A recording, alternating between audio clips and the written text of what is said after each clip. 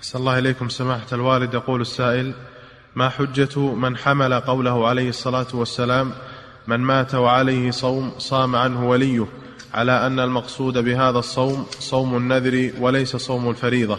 جاء في رواية عند البخاري من مات وعليه صوم نذر كذا من مات وعليه صوم نذر قالوا هذا مخصص نعم أو مفسر لعموم الحديث نعم.